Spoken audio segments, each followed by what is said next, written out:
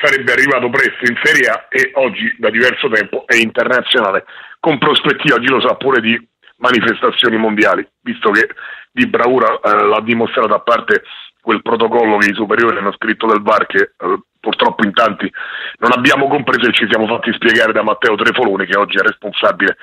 degli arbitri di eh, Serie D in un incontro recente fatto a due passi da, dalla Roma Fiumicino, peraltro molto costruttivo devo dire. Il Nettuno che fu sconfitto dal Villanova 4-0, 12 mesi dopo, ma si tornò allo stadio Flaminio e fu la prima volta senza Antonio Sbardella, nel frattempo scomparso purtroppo nella notte tra il 13 e il 14 gennaio del 2002, il Nettuno, dicevo, vinse in rimonta subendo il primo gol dall'Unione Sportiva La Dispoli e poi battuta 3 a 1. E la Dispoli si rifece 12 mesi dopo, ma altre sfontane in questo ping pong di una, una persa e una vinta. La Dispoli sfidò la temibilissima Sezze Setina dell'Italo Argentino Testone, uno squadrone andò sotto di un gol, rischiò tre volte di capitolare, pareggiò con Luca Mazza e vinse ai tiri di rigore con Mercadante che ne parò ben due dei cinque tirati, vinse 5 a 3 nel complesso, quindi 4 a 2 ai rigori il Ladispoli. E qui la storia si fa presto a fare, perché oltre all'Alcamo, al Bogliano, eh, il Ladispoli andò in sede nazionale a Pontassieve, eh, fu fatta la prima diretta web dal nostro sito, il calciodimax.it, che all'epoca si chiamava con un altro nome, fu la prima diretta web di una partita dilettantistica in tutta Italia. 7 maggio 2003 la Dispoli batte il favoritissimo Dertona, uno squadrone già pronto per la D, con gol di Daniele Galassi, ex calcio a 5 in Serie A e a livello internazionale al minuto 71 in una azione costruita da Gianluca Valerio, da diversi anni uno dei responsabili giovanili della Romana Atletico 2000 e anche con buoni risultati. E in quell'azione c'entrò anche il nostro amico Marco De Sisti, figlio di Giancarlo detto Picchio, già centromediano di Roma, Fiorentina e vice campione del mondo in Messico nel 70, visto che menzionavamo Antonio Sbardella che diresse alla finale del terzo posto, visto che l'Italia perse la finalissima col Brasile per 4 a 1 e invece quel terzo posto se lo aggiudicò, se non ricordo male, la Germania sull'Uruguay. Tornati a cose più dilettantistiche, ci fu poi la finale del 2004 che vi ho detto essere stata decisa ai rigori in una unica volta in cui vinse una romana, il Torrenova, sulla Roma ottava ai rigori dopo il doppio 0-0, peraltro anche noioso. Vinse eh, il Torrenova che poi insomma fu una stabile realtà d'eccellenza. Nel 2005 al Flaminio in Cecchina superò la Cinzia Genzano che non è fortunata con le finali di Coppa Italia come lo è stato invece nella sua storia in campionato o con i playoff, decisa quella partita da Ramazzotti su calcio di rigore all'84esimo, eh, un rigore decretato dal modesto Gargano di Roma 1 con il braccio del difensore della Cinzia attaccato al corpo. Qualcuno mi disse che avrebbe ammesso poi l'errore di fretta, il direttore di gara forse impaurito atleticamente dai supplementari, chi lo sa. Anche l'anno dopo ci fu un appendice nel 2006, Santa Marinella Colleferro terminò 1-1 ma ci furono due Eurogol nei tempi supplementari, non si arrivò ai rigori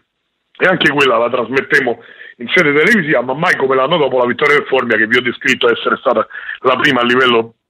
eh, satellitare, quindi in Europa. Nel 2008 la seconda vittoria di una squadra di promozione su tre finali, detto della sconfitta del Nettuno qualche anno prima. Vinse il Palestrina, se non ricordo male, sul Formia ad Anagni di misura. Nel 2009, sempre al Roberto del Bianco di Anagni, si impose il Pomezia, una delle 18 squadre della provincia di Roma, a vincere la Coppa Italia del Lazio, sul Fidene, vittoria di misura, gol di Amassocà. Insomma, eh, fu anche una partita giocata da due squadre che avrebbero potuto militare tranquillamente in Serie D per come erano state costruite. Nel 2010 vi avevo accennato il successo numero eh, 3 della provincia di Latina con la Vigor Cisterna che a Viale Tiziano si impose 2-0 sulla Lupa Fraschetti. Siamo nel 2011, il Città di Marino a Casal del Marmo, campo della Strea, batté il Palestrina. E poi nel 2012, come ho detto, al Salaria Sport Village, già centro sportivo Banco Roma, il Rieti, il Football Club Rieti, batté 2-1 il Pisognano, una partita molto tirata in cui Pisognano nella, nell'azione dell'89esimo accarezzò il palo e nel contropiede successivo capitolò. Il Rieti era allenato da Fabrizio Paris. se la memoria non mi fa difetto, recentemente fatto accomodare forse in maniera frettolosa dal Rieti e fin qui siamo al 2012. Nel 2013 al Bartolani di Cisterna tante polemiche col Boville Ernica maltrattato da un arbitro Cattaneo di Civitavecchia che poi sarebbe stato promosso e da Civitenga, un assistente abbastanza scarso per la verità. Vinse il Colleferro per abbandono del Boville Ernica che era frutto di un gol e a quel punto in nove uomini. Ma le polemiche non hanno frenato il fascino anche la capacità organizzativa che ci vuole, come stanno per raccontare Vignola e Natali, in ordine sparso, e nel 2014 a Frascati l'Empolitana batté la favoritissima Viterbese Castrense. Nel 2015, stesso eh, proscenio, si arrivò ai tiri di rigore, l'Alba Longa batté la Vis Artena. Siamo in tempi più recenti. Al Francioni, nel eh, stadio di Latina, piazzale Prampolini, il Cassino vinse il trofeo regionale siamo nel 2016 e poi ci furono le due vittorie dell'Unipomezia 2017 e 2018 quest'anno non ce l'ha fatta perché è stata eliminata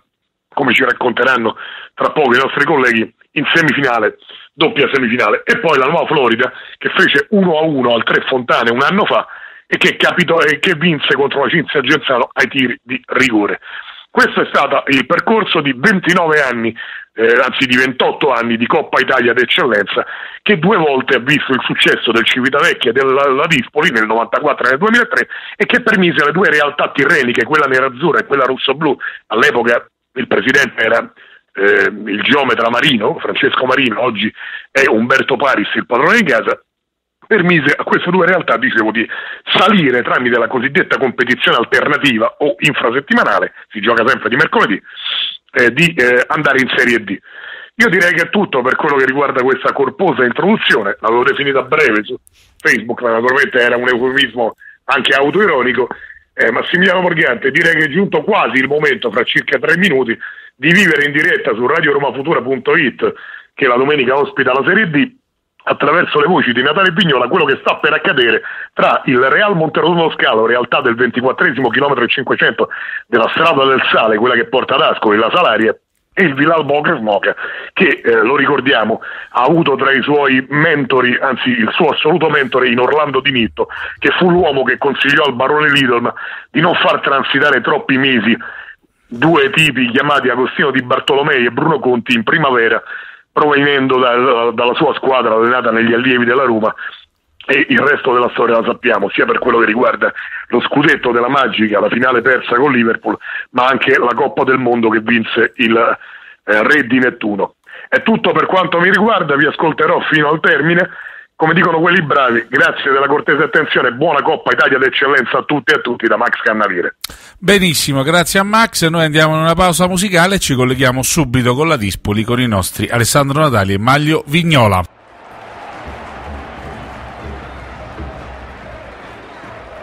No es cosa de niños ni es cosa de viejos. El deporte rey es corazón de obrero. No es solo un balón entre dos porterías. Es una afición que llora de alegría.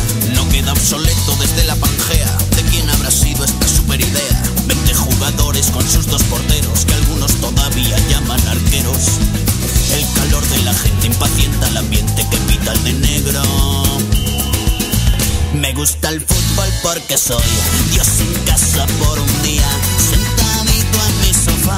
Vio la Champions y la Liga. No quiero perderme nada del domingo y su jornada.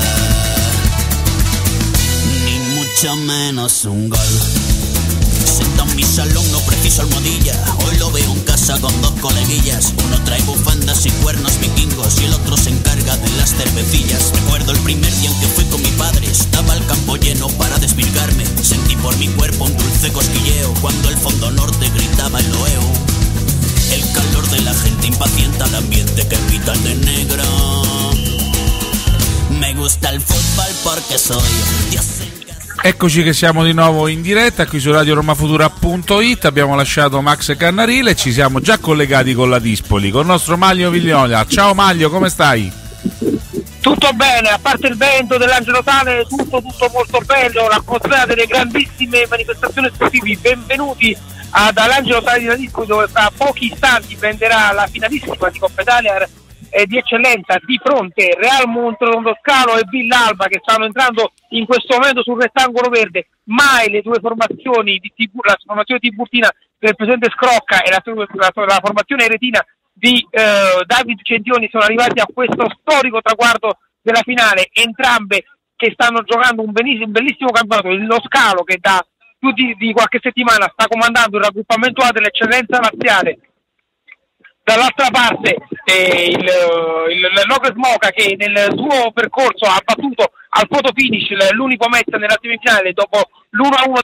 è riuscito a battere in rimonta tra le mura amiche proprio una, una una, una accreditata vittoria finale. L'unico match che ricordiamo eh, per gli storici appassionati di questo grandissimo sport vinse le ultime due edizioni nelle ultime tre Coppe Italie. Però torniamo all'attuale. Entrambe le formazioni Centioni e Leone sono già incontrati nel 2016-2017 quando le formazioni allenavano di promozione Leone con Lepanto Marino liquidò 3-0 il Real Colosseum allora allenato da Centioni. Però è tutta la storia passata tanta acqua è passata sotto i ponti fino a questo momento e oggi l'attuale dice questo Scalo contro, contro Real Mondo contro Ogres Moca Real Monte Toscano informazione tipo, tipo eh, squalificati solamente fino al tempo andata quindi Centioni si schiera con questa formazione dando spazio al 2001 Baltichetti autore di diverse parate importanti eh, ai calci di rigore soprattutto nel turno contro la Picor Conti a inizio di ottobre e che ha permesso proprio lo Scalo di arrivare nella finale dove in semifinale ha eliminato il Civitavecchia. Ricordiamo che lo Scalo non ha mai vinto in casa le partite della Coppa Italia quindi soprattutto nelle, forma, nelle, nelle, partite esterne ha espresso il suo proprio valore nonostante formazioni comunque giovani che Centioni ha messo in campo. Dall'altra parte la rivelazione di questa Coppa Italia è Nocres Moca che sicuramente non è la partita con i favori del prossimo per arrivare così in fino in fondo, però sappiamo tutti la grinta e la, e la determinazione di mister Diego Leone che in questa stagione sta, ci sta regalando comunque punti importanti anche in campionato. Andiamo a tutte le formazioni, Real Mondo Toscano in campo con Baldinetti, Giordano Bastiatore, Politano, Albanesi e Lalli, Fiorucci, Bellardini, Colacchi che è tornato dopo un infortunio domenica scorsa della partita eh, di, di, Tivoli, Tilli e Lupi, il stam dell'attacco, si sta parlando moltissimo di questo Tilli, autore di gol importanti nelle ultime uscite, l'uno su tutto nel derby contro l'Enetum Montrono sabato scorso, a disposizione di mille centrioni, vedono in panchina Santi, Passeri, Palmarucci, Doratti, Ranzoni, Baltassi, Pascu, Braccio e Palma. risponde Lopez Moca con Mosciatti, Mascioli e Langiotti, So, Scotto di Clemente, Taverna e Ranieri, Pari, Custi, Cenezzi, Mereu e Alfonsetti, a disposizione di mister Diego Leone, che sono in panchina, Pagella, Petruccione, Alfonsetti, De Luzzi, De Giovani, Aurelio, Papurio, Pulci e Bellis, il direttore di gara il signor Brizzi, eh, eh, Corelli della sezione di Ostia, l'assistente di fascia, il signor Brizzi di Aprilia e Cirillo di Roma 1. Do la linea e il collegamento al nostro amico e collega Alessandro Natali, la partita è appena iniziata. Sì, la partita è iniziata proprio qualche, da qualche istante, che all'Angelo Sale di La Dispoli, eh, la palla è tra i piedi dei giocatori in maglia rosso-blu, sia il Real Monte Rotondo Scalo. La palla per, da Bellardini, ancora per Bellardini, ha cambiato con Fiorucci. Ora sul pallone passiatore, passiatore per, per uh, Bellardini, lancio in uh, profondità, diciamo, viene da due scontri, ricordiamo che viene da due sconfitte consecutive, la formazione di Davide Centioni, quella clamorosa in casa con l'Ottavia per 3 a 1 e quella di Tivoli di domenica scorsa all'Olindo Galli contro la formazione di Manolo Liberati, il rinvio da parte di Mosciatti intercettato da Politano. Ancora poi rubano un rimpallo a favorire Fiorucci. Fiorucci in area di rigore. Viene però fermato in, in calcio d'angolo da Scotto di Clemente. Primo calcio d'angolo del match in favore della formazione del presidente Bruno Taccai di mister Davide Centioni. Come ha detto l'amico e collega Maglio Vignola i due allenatori si erano già incontrati in finale di Coppa, era in promozione nel 2016, era, vinse Diego Leone 3-0 con il suo Levanto Marino contro il Real Colosseum dell'attuale tecnico della compagine della Via Salaria. Calcio d'angolo che sta per essere battuto dalla formazione proprio dello scalo. aspettiamo il fischio il, da parte del signor Colelli di Ostia. Sta per essere battuto questo calcio d'angolo, arriva adesso il fischio, colpo di testa a liberare l'area di rigore da parte